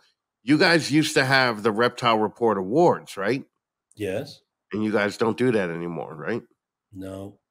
Uh, was there a lot of shit involved with that? Yes. Are you surprised? no, Um, I'm de- I'm definitely not. definitely not surprised. That's a love hate relationship. We used to have the best of awards, Right. and we ran it for four or five years. We did trophies and everything. Again, I thought, what a great way to recognize great folks doing great work, which is a kind of an underlying philosophy of, of how I approach a lot of my reptile world, my career, supporting great folks doing great work. Love it. How can you not want to do that? But it turns out there's a lot of petty folks and jealous folks and envious folks. And so if you say, you know, hey, uh, podcast of the year is going to go to Chris Eaton, Uh, that's never happened. then you get six other podcasters that most of the time you've never heard of that want to talk shit and be like, Chris is a fucking asshole. Yes. I hate his hat. Right. Um, my show's better. Uh, you're a bunch of fucking dickheads for supporting him. You know that he once uh, said the c word on his on his podcast, and so he doesn't deserve to be there. Or I once heard that he kicked a bag of puppies, or like whatever nonsense they come up with. It just became so petty and so angry. all, all, all true, by the way. I mean, the dogs were just getting too loud, you know. So fucking You kicked him and then threw him in the river. yeah, yeah. I had had to had to put my dog to sleep about a month ago, and Oh. uh wasn't anything wrong with her. I just I, I'm just very busy, you know. So fucking just, just had to do it. Turns out I really shouldn't have announced that online, you know. So Okay, Uh, well, you're not winning the podcast of the year award this year, and that's why. yeah, Um, yeah, so it just became it became tough. Like the positive feedback from the people that participated and won awards, or even you know were nominated for awards, that was fantastic and, and Right. very rewarding. yeah, that was a big thing, man. But you know, it's it's like everything. Like the, you know, the five percent of shit people can ruin it for everybody else. Oh, oh, please, you're you're talking, you know, you're preaching to the choir, man. yeah. You know, So, and then in order to do the awards, it took probably two months, and it was, um, I think, 200 hours, 200 hours of labor for a staffer to do it. right? And so it was a ton of work. And yeah, after a while, the negativity just wore on us.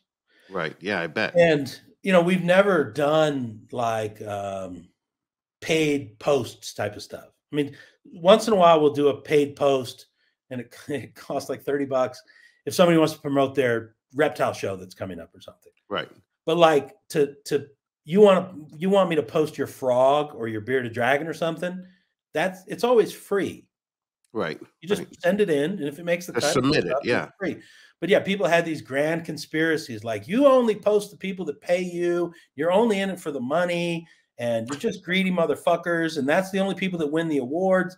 And I mean, I argued against it for a while, but you just get exhausted. But like, never took a fucking nickel for that shit. Right. Right. And and during the best of awards years, we lost tens of thousands of dollars a year running the site in the business. Oh, I bet. Yeah. But I thought it was so important that it was worthwhile. And Right. we had a successful business in shipping that we were able to absorb that loss. Right. So it didn't hurt that bad. And I thought it was important enough to the industry to be able to share all these pictures and stuff for folks, and then to be able to recognize great people doing great work with the awards and trophies and stuff. But yeah, I mean, just it, man, it just fucking wears on you, people that just have to be negative about it. Oh yeah. Yeah. Um, But so yeah, we- we stopped, and and every, I mean, you know, every couple months somebody asks me about you know best of awards. You can start it up again. You want to, you know, please do it again. Um, and I say no, no, it's not going to happen. Um, and then once in a while, I'll go to a show or I'll go, I'll see something online, and somebody still has like their their trophy up for winning, Right. you know, uh, best lizard picture or best lizard breeder or you know snake breeder of the year or whatever it was. Um, so that's you know that's still really cool. I, I love to see that. Um, but yeah, we just it's not going to happen again unless you want Yeah. to. I mean, I consider if you want. No, no, no, I don't. Believe me, I, I get 12 emails a week telling me to go kill myself. All right. I don't need any more, you know. it's probably uh, because of that puppy thing. Nah, it, it is. What I just tell them is like, uh, cool. Well, thanks for listening. Uh, fuck you. I sell a lot of shirts. Okay. and then uh, I'm, I'm just happy with that. You, hey man, you gotta you gotta try and let it roll off your back, right? So you can just keep rolling forward. But I mean, sometimes it's hard. Sometimes it's really Well, well, the the older I get, the more I'm Mhm. just like, ah, fuck them. You know, like it used to be if anybody said a negative thing about me, yeah, I would indirectly mention them on the next show or fucking rip on them back online. Uh, and now I'm just like, fuck it, you, you know, just uh, you know. But but that comes with. Uh, I mean, I, I haven't been around for as long as you, but I've been around. I've been doing this for six years now, and it's just like the things that bothered me when I first started just do not bother me at all anymore. I don't give a fuck. I realize that it doesn't matter. And I realize that according to my numbers, they're probably listening anyway. Okay. So, i- i- you know, there's no point in starting up a, a, a big thing. Now, now, if, you know, I do a hot chick episode every year Mhm. and a lot of people give the girls a hard time for doing it. They're saying, you know, you're going on this misogynistic show with this this asshole. Um, that I get offended at because they start ripping on the people that are my guests on the show. Oh, you, yeah, you know, that. and and believe it or not, it's more women that complain about that than men. I, I never knew I had so many women listeners um, until they tried to shut me down a year ago. You know, so um, it's you know, and a lot of people came to my support. You know, and um, and I should have known because I got hot women taking pictures in my shirt and sending me pictures like literally every day. I'm getting new pictures, so I, I knew I had a strong women base, but I didn't know it was as strong as you know as it was. You, you know, one fem Nazi group tried to shut me down on Instagram, and Instagram investigated both of our pages, Mhm. and they ended up shutting down the fem Nazi group because they said you guys are way more sexist than this guy, and they shut down their page, and and I considered that a small victory. You know, Yeah. so. Um, Some, you know what, Chris? Some people just live to be negative, and I don't Yeah. get that because it's not fucking healthy. Um, but some people Well- yeah, just love to be negative, and and I, at this point, yeah, as you get older, you kind of your edges soften, and you get you know Right. Well, well, and the, and the whole point is to really like you said shine a light on the good people of the industry right? Yeah, yeah, and stop being it. so negative. Uh, like one thing in our last conversation when you were on i was ripping on emily and ed from snake discovery right? I remember, and yeah, and since I, I mean, since you fucking just you just kind of convinced me to to wa- watch them, and I fucking love them. I'm subscribed. I fucking watch every video they put out. They're they're fucking awesome people. Um, I'm glad so yeah, yeah, I, I really, um, I mean, they're really li- like just good people in general, you know. And, and I heard there was a line around the corner just to meet them at Tinley. Uh, so it, it's just Every like, show. yeah, it, it's insane how popular they are.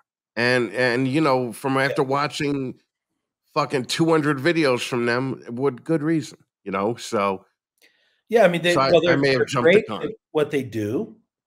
They're passionate about what they do, and they're executing very high level.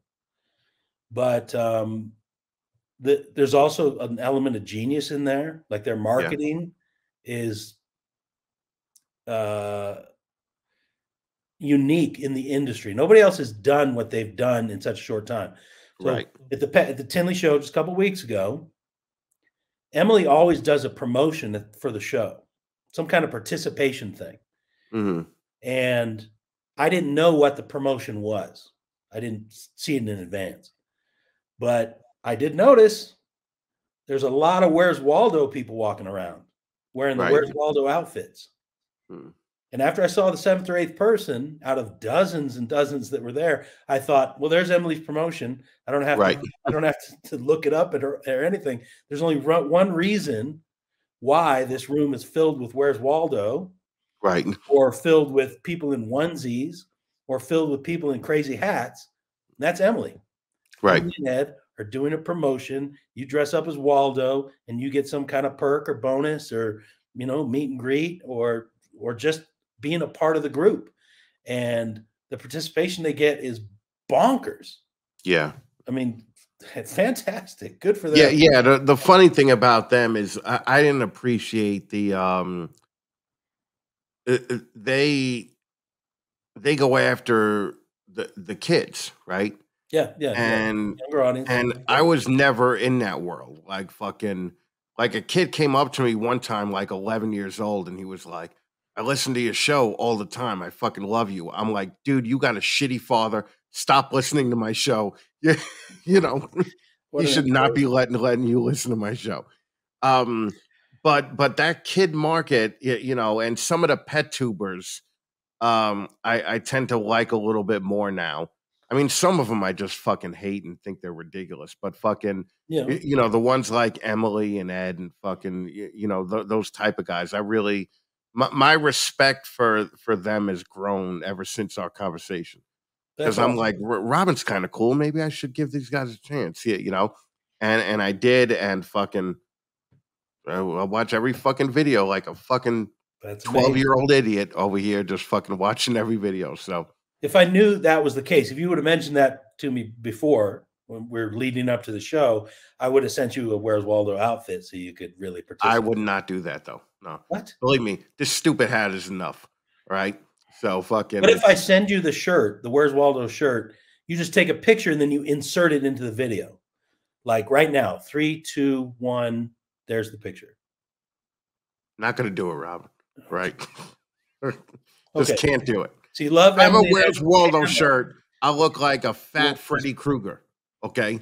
There's nothing me. wrong with that. then I'll get fat shamed.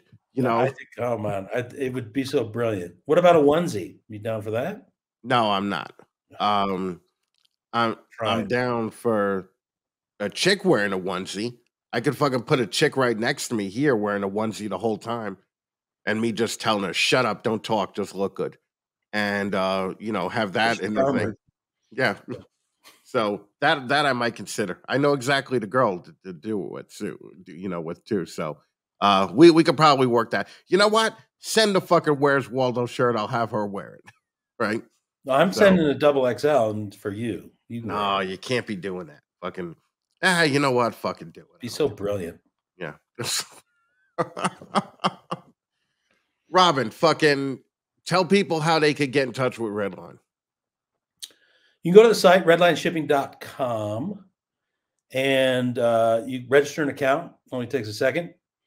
Uh, we have great discounts on shipping. That's what we do. Uh, but if you have a custom discount at one of the competitors, which everybody does, that's fine. I'm happy to take a look at that and give people a, a custom discount that'll work for them, uh, win over their business and their support. So redlineshipping.com. You can also find us redlinescience.com for our line of products, stainless steel, uh, biotope cages, uh, the notorious shit scrapers, which are fantastic. Uh, Reptile Yeah, Report, yeah, Facebook and Instagram. I'm on there as well.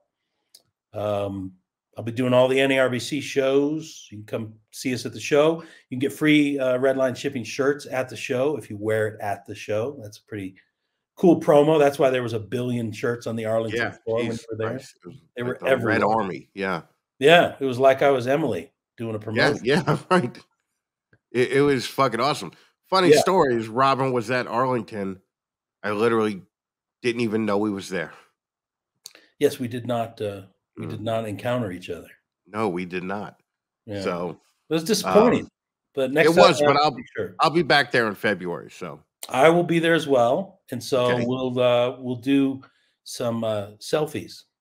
yeah, we'll do some selfies like you did with uh Megan behind the go. table. Okay. So we'll fucking take care of that. Yeah, But uh Robyn, thank you so much for fucking taking the time, man. I, I appreciate you. thanks for having me back Uh, on. Yeah, I appreciate appreciate you, you supporting the show. I appreciate you coming on and talking about Redline. And uh again, Redline Science, the official shipping company of Snakes and the Fat Man. Close. So I am red line following shipping. MorphMarket's lead. Okay. Yes, So that's right. red line Um, shipping, Redline science. It's all Redline in my blood. That's what I'm saying. Fucking Yeah. you you bleed red line. I do. Thank you again, brother. I appreciate your time, and I'll talk to you in a little bit, okay? All right, man. Take care of yourself, Chris. See All right, next you time. too. I'm gonna put you in the green room for a minute, okay? All right. All right.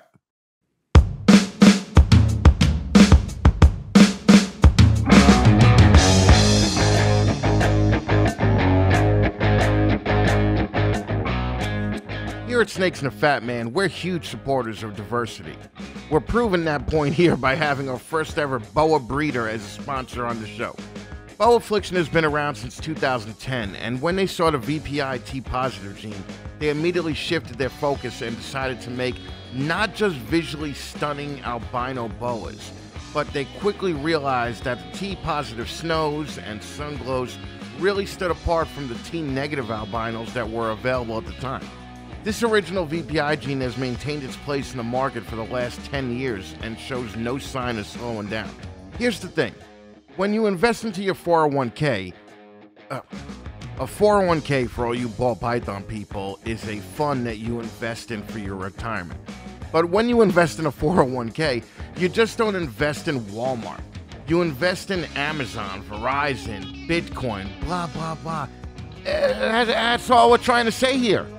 100% of your collection doesn't have to be ball pythons. Throw a few boas in there and be part of a different type of cool crowd. And when you do do that, invest with Kenny over at Boa Affliction. Great, no bullshit guy What an awesome website. And how in the fuck am I gonna say no to a guy who uses this chick in his promo picture? Can't do it. Can't do it. I, I tried everything. Go check out Kenny today at bowaffliction.com. Sticking with my supporting of diversity, I actually hired a millennial to handle all my social media, but I had to fire him because he, didn't show up for work. So I'm just going to leave this picture up here for a little while longer. Just the fucking nicest guy, man. Fucking use the coupon codes I gave you before. Head on over to Redline Shipping and fucking give them a try. I guarantee you won't be disappointed. All right, guys, you, you, you know the usual spiel here. Fucking, we drop shows on the 1st and 15th, blah, blah, blah, blah, blah.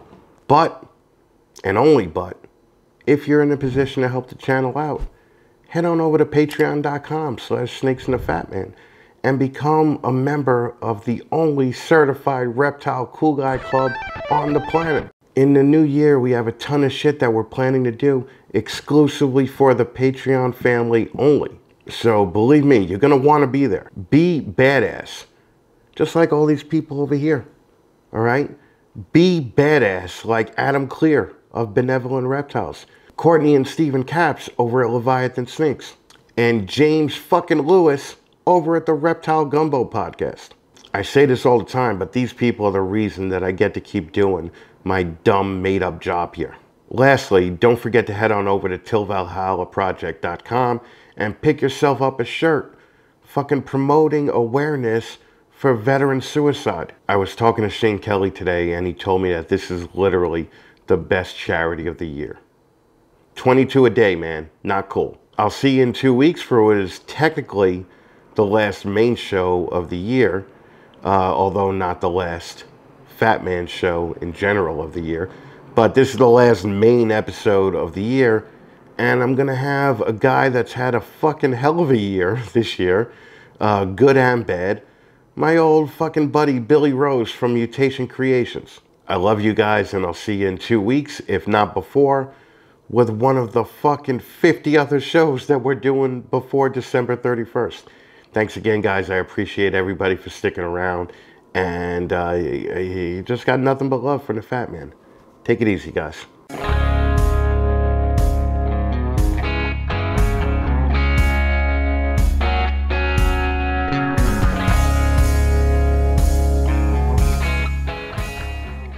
Everyone talks their own shit about what kind of racks you should buy.